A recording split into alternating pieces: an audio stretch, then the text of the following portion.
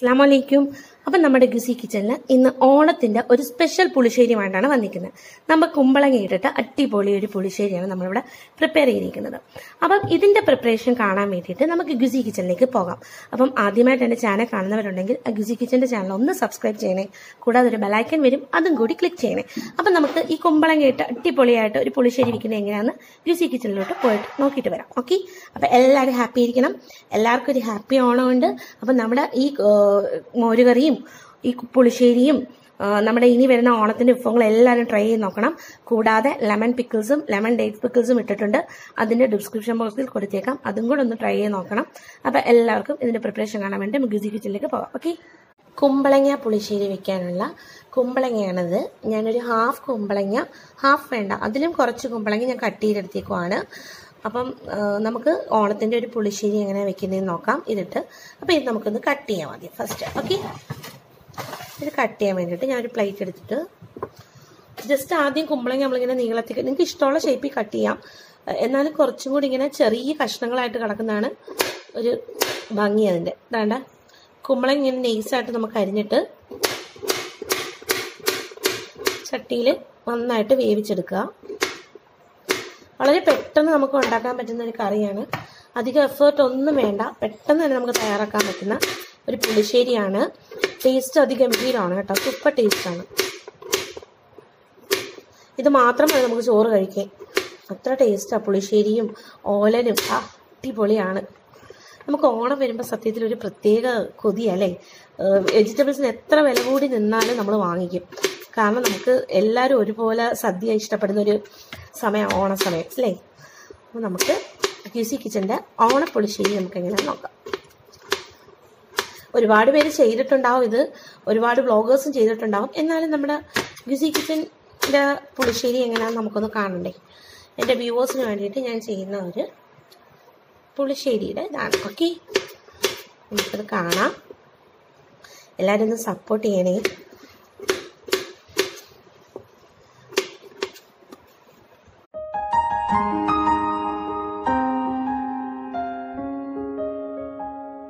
കുമ്പളങ്ങയൊക്കെ അരിഞ്ഞ് വെച്ചിട്ടുണ്ട്. ഇനി നമുക്കൊരു നാല് പച്ചമുളക് കീറിയിട്ട് കൊടുക്കാം. എരിവ് കുറവുള്ളവർക്ക് രണ്ടോ മൂന്നോ ഇട്ടാൽ മതിയാവും. ഞാനൊരു നാല് പച്ചമുളക് എടുത്തിട്ടുണ്ട്.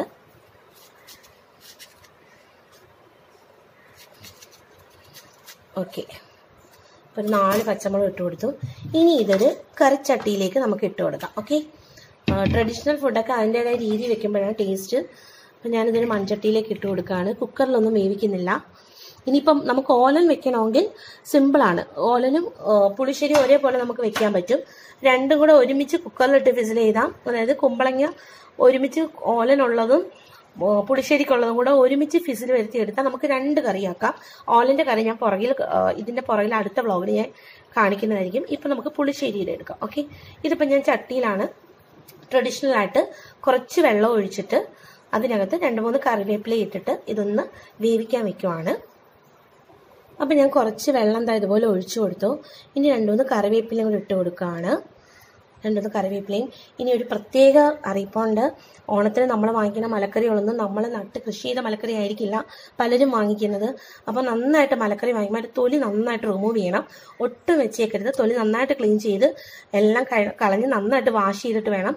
പറ്റുമെങ്കിൽ നിങ്ങൾ മഞ്ഞപ്പൊടി ടർമറിക് പൗഡർ ഉപ്പ് ഇട്ട് വാഷ് ചെയ്തിട്ട് വേണം എടുക്കാൻ. നമ്മുടെ കുട്ടികൾക്കൊക്കെ കൊടുക്കുന്നതാണ്. അപ്പം ഫസ്റ്റ് നമ്മൾ മലക്കറിയിലെ വിഷാംശങ്ങളൊക്കെ മാറ്റിയിട്ടേ കുക്കിംഗ് ചെയ്യാൻ നിൽക്കാവുള്ളൂ അത് പ്രത്യേകം ഞാൻ പറയാണ് ഇപ്പോഴത്തെ മലക്കറിയുടെയും എല്ലാം മലക്കറി എന്നല്ല സർവത് മായമാണ് എന്നുള്ള ഒരു കൺസെപ്റ്റിലേക്ക് നമ്മൾ എത്തിയിരിക്കുകയാണ്. നമ്മളെ കൊണ്ടിപ്പം എല്ലാവർക്കും അരിയൊക്കെ കൃഷി ചെയ്ത് വേവിച്ച് കഴിക്കാനുള്ള ഒരു സമയവും അതിനുള്ള പരിധിയുമില്ല. പക്ഷേ ഇപ്പം നമുക്ക് വരുന്ന പല സാധനങ്ങളും മായങ്ങളാണ്. അതുകൊണ്ട് അത് ഓർത്തിട്ട് വേണം ദേവി നമ്മളെ മലക്കറികളൊക്കെ കഴിവതും നമ്മുടെ വീട്ടിലെ മലക്കറി ഉപയോഗിക്കുന്നത് അതായിരിക്കും നല്ലത്. അല്ലാന്നുണ്ടെങ്കിൽ അത്യാവശ്യ ഘട്ടങ്ങളിലൊക്കെ നമുക്ക് വാങ്ങുവാണെങ്കിൽ നന്നായിട്ട് ക്ലീൻ ചെയ്തെടുക്കാം. അപ്പോൾ ഇതൊന്നും ഞാൻ വേവാൻ വേണ്ടി നമുക്ക് അടുപ്പിലേക്ക് വയ്ക്കാം. അപ്പം ഞാനിതൊരു ഗ്യാസ് സ്റ്റോവ് കത്തിച്ച് അതിനകത്തേക്ക് ഇത് വേവാൻ വെച്ച് കൊടുത്തിരിക്കുവാണ്. ഇനി ഇതൊരു ലിഡ് വെച്ച് ക്ലോസ് ചെയ്ത് കൊടുക്കാം. അപ്പോൾ ലിഡ് വെച്ച് ക്ലോസ് ചെയ്യാണ്. ഇനി ഇത് നന്നായിട്ട് വെന്ത് അതിന്റെ വെള്ളമൊക്കെ ഒന്ന് പറ്റി വരുമ്പം നമുക്കതിന്റെ പുളിശ്ശേരിയുടെ കണ്ടന്റ് ഒഴിച്ചു കൊടുക്കാം. ബാറ്റൺ ഓക്കെ അപ്പോൾ അതൊന്ന് വേവാൻ വെക്കുവാണ്. അപ്പം ഞാൻ ഇതിലേക്ക് ഒരു അര കപ്പ് തേങ്ങ എടുത്തിട്ടുണ്ട്. അതായത് നമ്മുടെ ഒരു മിക്സിയുടെ ജാറിൽ അരമുറി തേങ്ങ എടുത്തിട്ടുണ്ട്. ഇതിനകത്തേക്ക് രണ്ട് കൊച്ചുള്ളി മൂന്ന് വെളുത്തുള്ളി ഇട്ട് കൊടുക്കുവാണ്. ഇനി ഇതിനകത്തേക്ക് ഒരു നുള്ളി ജീരകം ലിറ്റിൽ ബിറ്റ് നമുക്ക് ജീരകം ഇട്ട് കൊടുക്കാം. നുള്ളു മതിയാവും. ഓക്കെ. ഇനി ഇതിലേക്ക് നമുക്കൊരു കാൽ ടീസ്പൂൺ മഞ്ഞൾപ്പൊടി ഇട്ട് കൊടുക്കാം.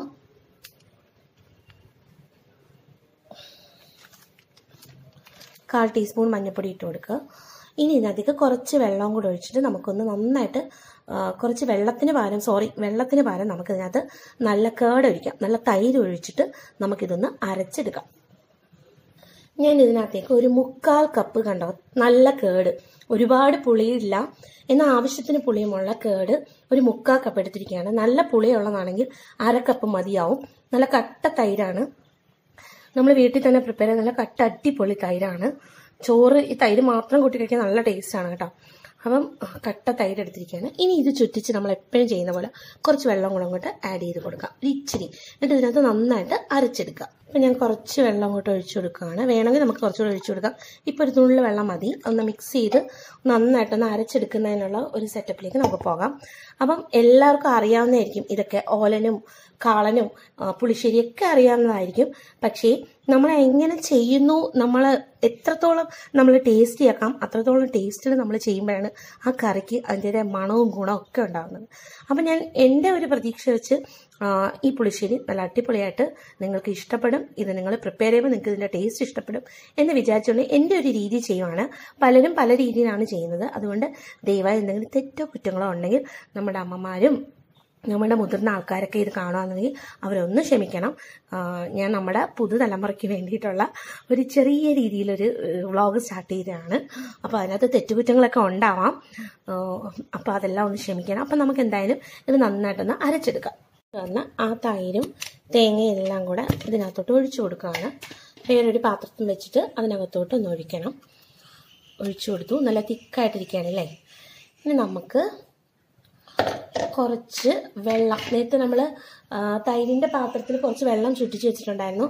അതുണ്ടെങ്കിൽ ആ വെള്ളം ഒന്ന് ഒഴിച്ചു കൊടുക്കുക. ഇല്ലെന്നുണ്ടെങ്കിൽ നമുക്ക് കുറച്ച് വെള്ളം ഒന്ന് ആഡ് ചെയ്ത് കൊടുക്കാം. ആ കേടെടുത്ത പാത്രത്തിന്റെ വെള്ളം ഉണ്ടായിരുന്നു. അത് ഞാൻ മിക്സിയുടെ ജാറിലേക്ക് അങ്ങോട്ട് ഒഴിച്ചു കൊടുത്തു. എന്നിട്ട് ആ സൈഡിലൊക്കെ ഇരിക്കുന്ന നന്നായിട്ടൊന്ന് സെന്ററിലാക്കി ഒന്ന് ചുറ്റിച്ച് ഇതിനകത്തോട്ട് ഒഴിക്കുക. അപ്പം നല്ല തിക്കായിട്ടിരിക്കുകയല്ലേ? കുറച്ചും കൂടെ വെള്ളം ആഡ് ചെയ്ത് ഒന്ന് ഒരു ഒന്ന് ശകലം ഒന്ന് ലൂസാക്കി എടുക്കണം. അപ്പോൾ ഒരുപാട് വെള്ളം വെള്ളം ആവരുത്. ഇത്രയും. കുറച്ച് വെള്ളം ഞാൻ അതിനകത്ത് ഒഴിച്ചു. ഒന്ന് ചുറ്റിച്ച് എടുക്കുകയാണ്. അങ്ങോട്ട് ഒഴിച്ചു കൊടുത്തു. എന്നിട്ട് നമ്മളൊരു സ്പൂൺ എടുത്ത് ഒന്ന് കലക്കി തിക്നെസ് ഒക്കെ നോക്കുക. ഇനി നമ്മൾ ഓരോ കുറച്ച് കുറച്ച് സ്പൂണിനകത്ത് ഇങ്ങനെ സ്ട്രെയിൻ ചെയ്തെടുക്കാം. കണ്ടോ? ഇങ്ങനെ അരിച്ചെടുക്കാം. കുറേച്ച് കുറേച്ച് മൊത്തത്തിൽ ഒഴിച്ച് അരി അരിക്കരുത്. ആ സ്പൂണിനെടുത്തിട്ട് ഇങ്ങനെ ഒന്ന് അരിച്ചെടുക്കുക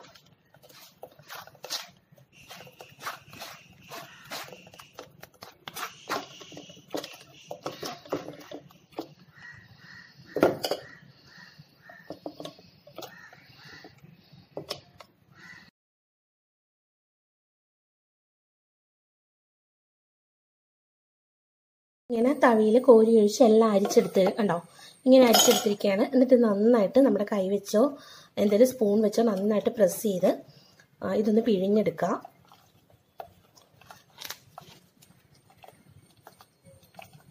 നന്നായിട്ടൊന്ന് പിഴിഞ്ഞെടുക്കുക അപ്പോൾ നമ്മൾ പിഴിഞ്ഞെടുത്തപ്പോൾ ഇത്രയും തേങ്ങയുടെ ഇതുണ്ട്.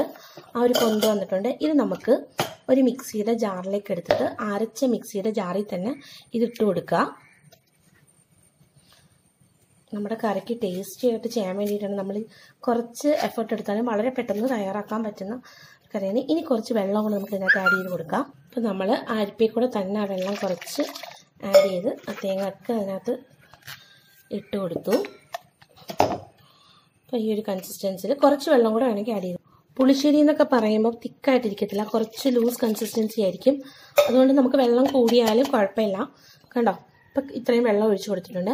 ഇനി ഇത് ഡയറക്റ്റ് ആയിട്ട് ഒന്ന് മിക്സിയിൽ ഒന്ന് രണ്ട് മൂന്ന് വട്ടം ഒന്ന് വൈപ്പ് പോലെ ഒന്ന് അടിച്ചിട്ട് ഒന്ന് വൈപ്പ് ചെയ്തിട്ട് ജസ്റ്റ് നമുക്ക് ഒരു അരിപ്പ വെച്ച് അരിച്ച് സ്ട്രൈൻഡർ വെച്ച് അരിച്ച് ഇതിനകത്തേക്ക് അങ്ങ് ഒഴിച്ചു കൊടുത്താൽ മതി. അപ്പം നമ്മുടെ പുളിശ്ശേരിയുടെ കണ്ടത് തയ്യാറാവും. കുമ്പളങ്ങ പുളിശ്ശേരിയുടെ. ഓക്കെ അപ്പം നമുക്ക് പുളിശ്ശേരിയുടെ ആ നേരത്തെ പിഴിഞ്ഞ് വെച്ച ആ തേങ്ങ നമ്മൾ ആട്ടി ഒന്ന് എടുത്തിരിക്കുകയാണ്. ഒന്ന് അരച്ചെടുത്തിരിക്കുകയാണ്. അത് നമുക്ക് ഒരു അരിപ്പ വെച്ച് സ്ട്രൈൻഡ് സ്ട്രൈൻഡർ വെച്ച് അരിച്ചങ്ങ് ഒഴിച്ചു കൊടുക്കാം. കണ്ടോ? ഇനി നമുക്ക് ഒരു എഫേർട്ടും ഇല്ല. മൊത്തത്തിൽ അങ്ങ് ഒഴിച്ചിരിക്കുകയാണ്.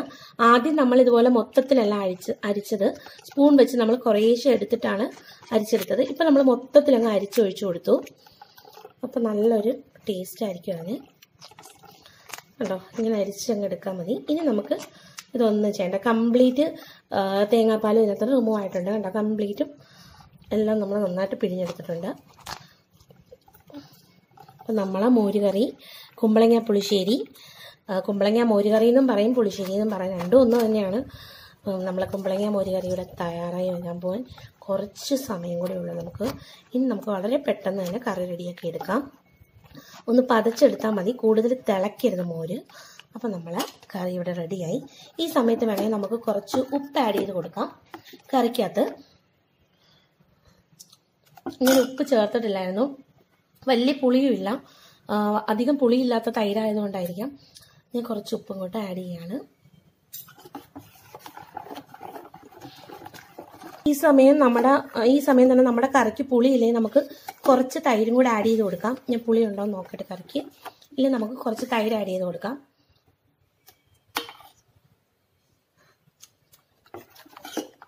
പുളി കുറവാണ് എന്റെ മോരിന് അപ്പം ഞാൻ കുറച്ചും കൂടെ ആഡ് ചെയ്യാൻ പോവാണ്. അതുപോലെ ഒരു സ്പൂണും കൂടെ ഞാൻ ആഡ് ചെയ്ത് കൊടുക്കുവാണ്. നിങ്ങൾക്ക് പുളിയുടെ ആവശ്യം അനുസരിച്ച് നിങ്ങൾക്ക് തൈര് ചേർത്ത് കൊടുക്കാം. പുളിയുള്ള തൈരാണെങ്കിൽ പുളിയുടെ ആവശ്യമില്ല. പുളി ഇല്ലാത്തതാണെങ്കിൽ നമുക്ക് ആവശ്യം അനുസരണം തൈര് ഒഴിച്ചു കൊടുക്കാം. അത് നന്നായിട്ട് മിക്സ് ചെയ്ത് കൊടുക്കുക. ഇനി ഇത് അടിക്കൊന്നും വേണ്ട മിക്സ് ചെയ്താണ്ടോ? നന്നായിട്ട് അതായി കഴിഞ്ഞു. ഓക്കെ ഇപ്പൊ ഇനി നമ്മുടെ ആ വേവിച്ച് വെച്ച കുമ്പളങ്ങയുടെ അവസ്ഥ എന്താണെന്ന് നമുക്ക് നോക്കാം കേട്ടോ? അപ്പം നമ്മുടെ കുമ്പളങ്ങയുടെ അടപ്പ് മാറ്റി കൊടുക്കാം. കണ്ടോ? നമ്മൾ ആ വെച്ച വെള്ളം മൊത്തം പറ്റിയിട്ടുണ്ട്. നന്നായിട്ട് വെന്തിട്ടുണ്ട് കുമ്പളങ്ങ. നമുക്ക് ഈ അരപ്പരയ്ക്കുന്ന ഒരു സമയം നമ്മുടെ കുമ്പളങ്ങ വെന്തിട്ടാൽ നന്നായിട്ട് വെന്തിട്ടുണ്ട്. വേണമെങ്കിൽ നമുക്കൊന്ന് എടുത്തു നോക്കാം. കുക്കറിലൊന്നും ഇട്ടിട്ടില്ലായിരുന്നേ. ഇതാ കണ്ടോ? നല്ല വെന്തിട്ടുണ്ട്. നല്ല ചൂടുണ്ട്. ഇതുപോലെ ആരും കൊണ്ട് കൈ വെച്ച് കൊടുക്കരുത്. ഞാനിപ്പോൾ കാണിച്ച ജസ്റ്റ്. നിങ്ങൾ തണുത്തിട്ട് നോക്കിയാൽ മതി. നന്നായിട്ട് വെന്തിട്ടുണ്ട്. ഇനി ഇതിനകത്തേക്ക് നമുക്ക് അരച്ച് വെച്ച ആ മോരും തേങ്ങയും കൂടെ അരച്ച് വെച്ചത് ഒഴിച്ചു കൊടുക്കാം. അപ്പം ഞാൻ ഇതിങ്ങനെ ഒരു അരിപ്പ വീണ്ടും അത് തന്നെ എടുത്തു. എന്നിട്ട് അതിനകത്തുകൂടി ഇങ്ങനെ അരിച്ചൊഴിച്ചു കൊടുക്കുകയാണ്. അതാണ് ഒരു ടേസ്റ്റ് പുളിശ്ശേരിക്ക് ആ ഒരു തേങ്ങ കിടക്കുന്ന നല്ല എല്ലാം നല്ല അരിച്ച് റിമൂവ് ചെയ്ത് നല്ല വെള്ളം പോലെ ഒക്കെ നല്ല വെള്ളം പോലെ ലൂസായിട്ടിരിക്കണം അതാണ് പുളിശ്ശേരിയുടെ ഒരു ടേസ്റ്റ് ജസ്റ്റ് ഇതൊന്ന് അരിച്ചൊഴിച്ചു കൊടുക്കുക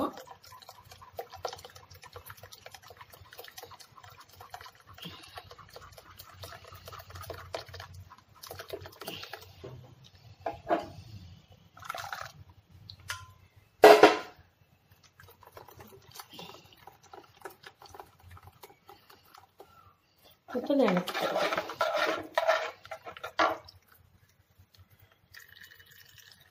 അപ്പം നമ്മൾ അരിച്ചെടുത്തപ്പോൾ കുറച്ച് പൊടിയൊക്കെ ഉണ്ടായിരുന്നു കേട്ടോ ഇത്രയും പൊടി വന്നിട്ടുണ്ടായിരുന്നു. അതെല്ലാം അതിനകത്ത് വീഴാതെ നമ്മൾ അരിച്ച് മാറ്റിയിട്ടുണ്ട്.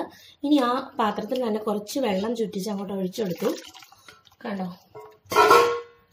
അപ്പം നമ്മുടെ കുമ്പളങ്ങ പുളിശ്ശേരിയുടെ എല്ലാം ഇവിടെ തയ്യാറായി വന്നിരിക്കുകയാണ് ഈ സമയത്ത് നമുക്ക് ഉപ്പും പുളിയും നോക്കാം. ഒന്ന് ഇളക്കി കൊടുക്കുക വേണ്ട നല്ല നല്ല അടിപൊളി പുളിശ്ശേരിയാണ് കേട്ടോ ആവശ്യത്തിന് പുളിയും ഉപ്പും ഉണ്ടോയെന്ന് നമുക്ക് ഉറപ്പ് വരുത്തണ്ടേ. അപ്പം നമ്മൾ ആവശ്യത്തിന് പുളി ഉപ്പും ഉണ്ടോയെന്ന് ടെസ്റ്റ് ചെയ്ത് നോക്കാം. ഓക്കെ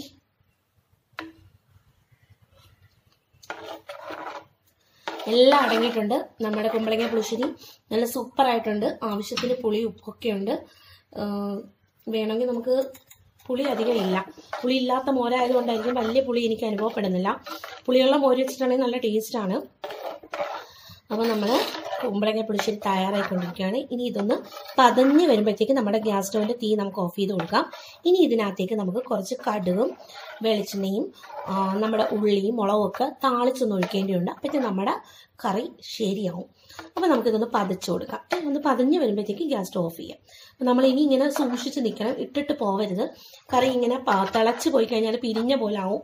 ഏതൊരു കണ്ടനായാലും തേങ്ങാപ്പാൽ ചേർക്കുന്നതും തൈരൊക്കെ ചേർക്കുന്ന കറി തിളയ്ക്കാൻ പാടില്ല. തിളച്ച് കഴിഞ്ഞാൽ അത് പിരിഞ്ഞ പോലെ കിടക്കും. അതുകൊണ്ട് കൂടെ നിന്ന് അതൊന്ന് ഇളക്കി കൊടുത്തിട്ട് ഇനി വാങ്ങി വയ്ക്കുക അടുപ്പിൽ നിന്ന്. അപ്പം നമുക്ക് നമ്മുടെ പുളിശ്ശേരി എല്ലാവരും ട്രൈ ചെയ്ത് നോക്കണം. കുമ്പളങ്ങ പുളിശ്ശേരി ഭയങ്കര ഹെൽത്തിയുമാണ് കുമ്പളങ്ങയൊക്കെ വെയിറ്റ് ലോസിന് നല്ല അടിപൊളി സംഭവമാണ്. പിന്നെ ശരീരം തണുക്കാനും. അപ്പോൾ നമ്മുടെ കുമ്പളങ്ങ പുളിശ്ശേരി അടിപൊളി ടേസ്റ്റാണ് പിന്നെ നമ്മുടെ ഓണത്തിന് പെട്ടെന്ന് ഉണ്ടാക്കാൻ പറ്റുന്ന ഒരു സംഭവമാണ്. വേണമെങ്കിൽ നമുക്ക് നിമിഷ നേരം കൊണ്ട് തന്നെ ഉണ്ടാക്കി വെക്കാം. പിന്നെ തലേന്ന് ഫ്രിഡ്ജിൽ ഉണ്ടാക്കി സെറ്റ് ചെയ്യുന്നവർക്കാണെങ്കിൽ അങ്ങനെയും ചെയ്യാം.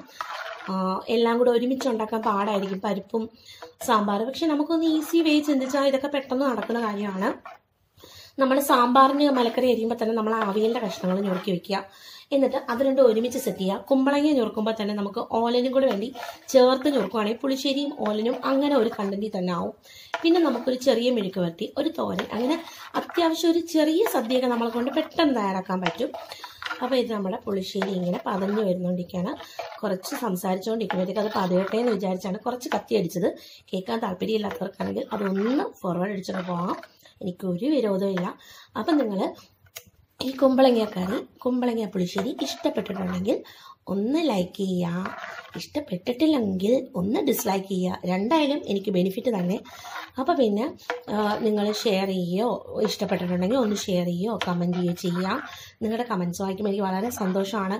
ഒരു ചെറിയ ഒരു ഇമോജി പോലും അയച്ചു കഴിഞ്ഞാൽ ഞാൻ നല്ല ഹാപ്പിയാണ് കാരണം അത്രയും വ്യൂവേഴ്സ് ഇത് കാണുന്നുണ്ടല്ലോ എന്നുള്ളൊരു ഒരു സമാധാനം. ഒരു വ്ളോഗറുടെ സമാധാനം. അത്ര മാത്രമേ ഉള്ളൂ.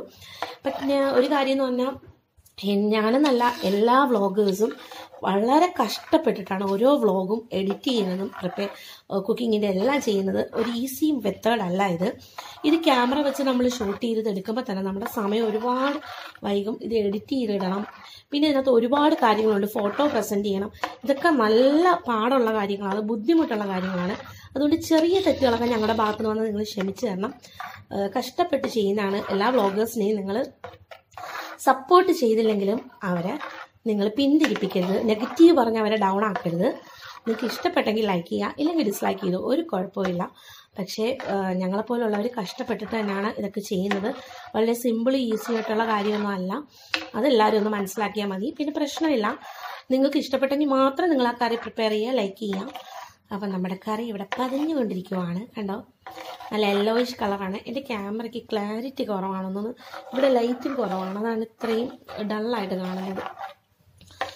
അപ്പം എല്ലാവരും ട്രൈ ചെയ്ത് നോക്കുമല്ലോ അപ്പം നമ്മുടെ കറി പതിഞ്ഞ് വരുമ്പോഴത്തേക്ക് നമുക്ക് അടുപ്പിൽ നിന്ന് വാങ്ങി വയ്ക്കാം അപ്പം നമ്മൾ കുമ്പളങ്ങ മോരുകറി കണ്ട? പതഞ്ഞ് വരെയാണ്.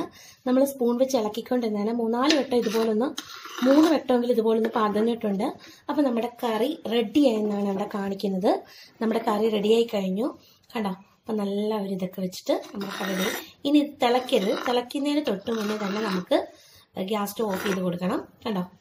നല്ല പതഞ്ഞ് ഇതുപോലൊരു മൂന്ന് നാല് വട്ടം പതഞ്ഞ് വന്നു. അപ്പം തന്നെ ഞാൻ സ്പൂൺ വെച്ച് ഇളക്കിക്കൊണ്ടിരിക്കുമായിരുന്നു ഇപ്പം കണ്ടോ? നല്ല പതിഞ്ഞിട്ടുണ്ട് തിളയ്ക്കുന്നതിന് തൊട്ട് മുമ്പുള്ള ആ ഒരു പദം. അപ്പം മനസ്സിലായല്ലോ? ഇനി നമ്മുടെ ഗ്യാസ് സ്റ്റവ് ഓഫ് ചെയ്യാം. ഓക്കെ?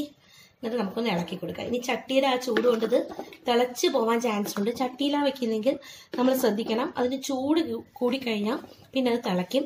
അപ്പോൾ ഒരു സ്പൂണിട്ട് ജസ്റ്റ് ഇതുപോലൊന്ന് ഇളക്കി കൊടുക്കുക എന്നിട്ട് നമുക്ക് പയ്യേന് ഒരു ലിഡ് വെച്ച് ക്ലോസ് ചെയ്തിടാം. ഇനി ഇതിലേക്കുള്ള കടുക് വറുത്ത് പൊട്ടിച്ച് ഓക്കെ അപ്പോഴത്തേക്ക് ഇത് കുറച്ചൊന്ന് ഇതായി വരും തണുത്ത് വരും. ഓക്കെ അപ്പോൾ നമുക്കിനി കടുക് വറുക്കാം. അപ്പോൾ ഇതുപോലെ ചെറിയൊരു പാൻ വെച്ച് ചൂടായിട്ടുണ്ട്. ഇതിനകത്തേക്ക് കുറച്ച് കടുക് ഇട്ട് കൊടുക്കുകയാണ്. ഒരു രണ്ട് ടേബിൾ സ്പൂണോളം എനിക്ക് മത്തങ്ങയ്ക്കും കൂടെ വേണ്ടിയിട്ടാണ്. ഞാൻ എരിശ്ശേരിയും കൂടെ എടുക്കുന്നുണ്ട്. അതിന്റെ വ്ളോഗ് ഞാൻ ഉടനെ ഇടുന്നതായിരിക്കും. രണ്ട് ഒരുമിച്ച് തന്നെയാണ് ചെയ്യുന്നത്. പക്ഷേ രണ്ടായിട്ടിടുവാണ്. ക്യാമറയിൽ എല്ലാം കൂടെ എല്ലാം കൂടെ ഷൂട്ട് ചെയ്ത് എഡിറ്റ് ചെയ്യാൻ പറ്റില്ല. അതുകൊണ്ട് എരിശ്ശേരിയുടെ ഞാൻ പിന്നീട് ഇടുന്നതാണ്. ഇപ്പം എരിശ്ശേരിക്കും കൂടെ വേണ്ടിയിട്ടാണ് ഞാൻ ഈ കടുക് താളിച്ചെടുക്കുന്നത്. അപ്പം ഇതിനകത്തേക്ക് നമുക്ക് രണ്ട് ടേബിൾ സ്പൂൺ ഞാൻ ഇട്ടിട്ടുണ്ട്. നിങ്ങൾ ഒരു ടേബിൾ സ്പൂൺ ഇട്ടാൽ മതി കടുക്. ഒരു കറിക്കാണെങ്കിൽ ഒരെണ്ണം മതി. ഇപ്പം രണ്ടെണ്ണം ആയതുകൊണ്ടാണ് ഇട്ടത്. ഇനി ഇതിലേക്ക് കുറച്ച് വെളിച്ചെണ്ണ ഒഴിച്ചു കൊടുക്കുകയാണ്. കടു താളിക്കാൻ നമ്മുടെ വെളിച്ചെണ്ണ തന്നെ ട്രഡീഷണൽ ഫുഡിന് ഏറ്റവും ബെറ്റർ അതുകൊണ്ട് സൺഫ്ലവർ ഓയിലൊന്നും ആരും ഒഴിക്കരുത്. വെളിച്ചെണ്ണ തന്നെ ഒഴിച്ചു കൊടുക്കണം. അത് ഒരു രണ്ട് ടേബിൾ സ്പൂണോളം ഒഴിച്ചു കൊടുക്കാം. രണ്ടര ടേബിൾ സ്പൂൺ എന്നിട്ട് ഈ കടുക് ഒന്ന് പൊട്ടി നമുക്ക് കുറച്ച് കൊച്ചുള്ളി അരിഞ്ഞ് അതിനകത്തേക്ക് ഇട്ട് കൊടുക്കാം. അപ്പം നമ്മുടെ കടുകൊക്കെ നല്ല പൊട്ടി തുടങ്ങി നല്ല മണം വരുന്നുണ്ട്. ഇതിനകത്തേക്ക് നമുക്ക് ഈ അരിഞ്ഞു വെച്ച കൊച്ചുള്ളി നമ്മുടെ കറിവേപ്പില നമ്മുടെ വറ്റൽ മുളക് ഇത് ഇത്രയും കൂടെ അങ്ങോട്ട് ഇട്ട് കൊടുക്കുവാണ്.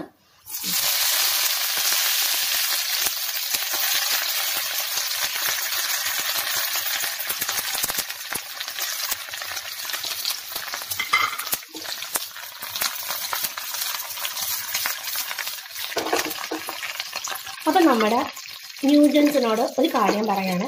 കടുകിടും കരിയാപ്പില ഇട്ടിട്ട് നമ്മൾ മുഖം അടുത്തോട്ട് വെച്ച് ഇടരുത് കുറച്ച് മാറി നിന്നിട്ട് വേണം ഇതിട്ടിട്ട് അതിന്റെ ആ പിടിയിൽ പിടിച്ചിട്ട് ഒന്ന് ഷേക്ക് ചെയ്ത് കൊടുക്കുക അല്ലെങ്കിൽ നമ്മുടെ ദേഹത്തൊക്കെ പൊട്ടിത്തെറിക്കും.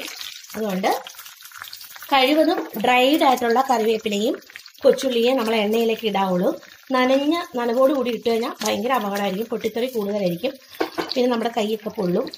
അപ്പോൾ നമുക്ക് ഇതൊന്ന് ഷേക്ക് ചെയ്ത് കൊടുക്കാം. ഈ കടുക് ഒന്ന് മൂത്ത് വരുമ്പോഴത്തേക്ക് നമ്മുടെ മോര് കറിയിലേക്ക് കുമ്പളങ്ങ പുളിശ്ശേരിയിലേക്ക് നമുക്ക് ഒഴിച്ചു കൊടുക്കാം. അപ്പം നമ്മുടെ കറി റെഡിയായി.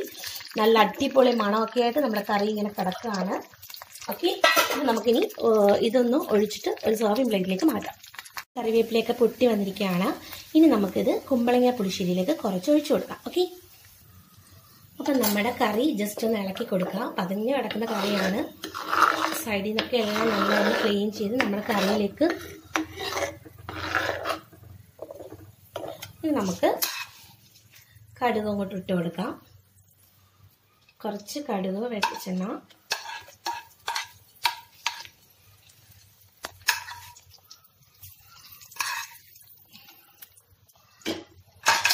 നമ്മുടെ കടുക് ഇട്ട് കൊടുത്തു. ഇനി നമ്മളൊന്ന് ഇളക്കി കൊടുക്കാം. കണ്ടോ? നമ്മുടെ കുമ്പളങ്ങ മോര് കറി നല്ല അടിപൊളിയായി വന്നിട്ടുണ്ട്. ചട്ടി തന്നെ പ്രിപ്പയർ ചെയ്യണം കേട്ടോ. കറി കഴിവതും. അത് തന്നെയാണ് ടേസ്റ്റ് അപ്പം നമ്മൾ കറി ഇങ്ങോട്ടൊന്ന് അടച്ചിടുക. ഇനി കടുവിന്റെ ഇതൊക്കെ ഇറങ്ങി കഴിഞ്ഞിട്ട് നമുക്കൊന്ന് സെർവ് ചെയ്യാം. ഓക്കെ കുമ്പളങ്ങ പുളിശ്ശേരി ഇവിടെ തയ്യാറായിരിക്കുവാണ്. അടിപൊളി ടേസ്റ്റാണ് നല്ല രീതിയിൽ ട്രഡീഷണൽ രീതിയിൽ നമ്മൾ സാധാരണ ചെയ്യുന്നതിൽ നിന്നും കുറച്ച് ഡിഫറെന്റ് ആയിട്ട് ഒന്ന് അരിച്ചൊക്കെയാണ് വെച്ചേക്കുന്നത്. എന്നാലും അടിപൊളി ടേസ്റ്റാണ് എല്ലാവരും പ്രിപ്പയർ ചെയ്ത് നോക്കണം. അപ്പം ഓണത്തിന്റെ ഒരു പുളിശ്ശേരിയാണിത്. അപ്പം എല്ലാവർക്കും ഒരു happy Onam. Thank you for watching. This is me Fauzi signing off. Bye bye.